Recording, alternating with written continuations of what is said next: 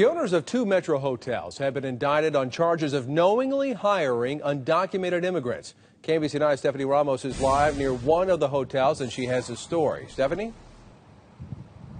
That's right, Len. This indictment alleges that in December of 2011, the Department of Homeland Security, along with an investigation unit and the Kansas Department of Revenue, got a tip that this Clarion Hotel here in Kansas City, it's on Northwest Plaza Circle near the airport, and another Clarion Hotel in Overland Park were employing undocumented workers. Today, U.S. Attorney Barry Grissom said the defendants, 51 year old Munir Ahmad Chaudary and his wife, 40 year old Rhonda Bridge, paid the undocumented workers less than those that were working here documented, and they paid them in cash. He says the motive was to cut their costs and to get an advantage on other hotels.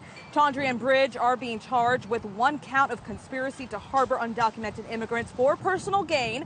The second charge, five counts of harboring. The third, four counts of wire fraud. The U.S. Attorney's Office says with these charges, they want to send a clear message to all employers.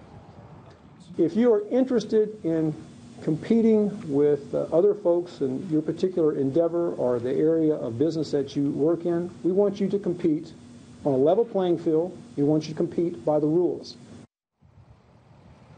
The government will seek forfeiture on both hotels, this one here in Kansas City and that other one in Overland Park. Now, coming up at 6, in addition to the charges against the owners, find out who else is being charged, and it's not the undocumented workers. Reporting live from Kansas City, Stephanie Ramos, KMBC 9 News.